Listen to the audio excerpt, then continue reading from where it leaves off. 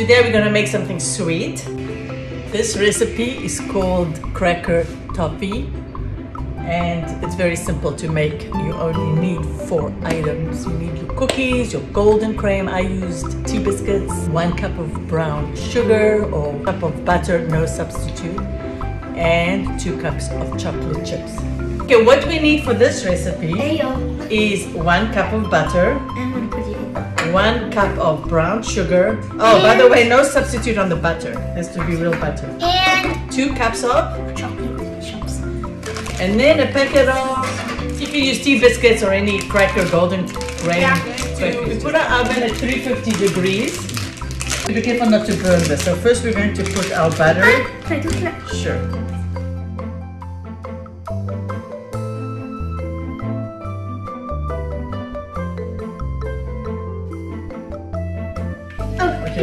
Ones? Can you move these? Good job doing it. You put one next to each other. It's like this. I'm putting five in each row. Right now I have about 30. And then if you need to break it to, to fit it. so I don't need to break them. There we go. Let's a little piece. so I'm gonna eat it. There we go. Okay, let's, let's, let's do another one. We do another one. Okay. If we have any left, let's see. Can I please eat So we're gonna bring this to a boil. Can I eat one though? So just to recap, we have one cup of butter here, no substitute. Um. And we have one cup brown of sugar. brown sugar. That's And we have chocolate chips over there. The chocolate chips we're gonna put in later. Can I eat one? Sure. So we're gonna bring this to a boil. Look, I this is a toffee. Gonna bring me an apple. I can dip an apple here. Oh, I can make a caramel apple. That's right. It has to be hot enough. Five second rule. Hey, it always applies. I uh, um made this stiff.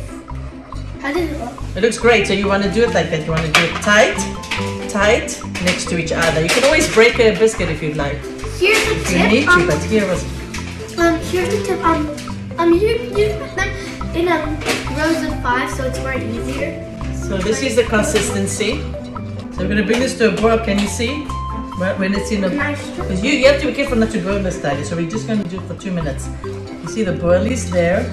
Our oven is at 350. And it's Put on the light- and it's okay. put the light on. We're just gonna bring a little bit of the sauce in the corner. Okay, now we're gonna put this in the oven for 10-12 minutes. So it's been about 10 minutes. It's nice and bubbly. This is the time you're gonna take it out and put your chips on it. If you have a one-time foil, shallow one, it'll be a good one to use for this recipe. I'm gonna stick it back in the oven for one more minute. Here's our sweet. We're going to wait till it cools off a little bit and then cut it. It's a kid-friendly recipe.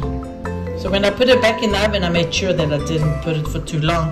I don't want to totally melt my chocolate chips. Enjoy.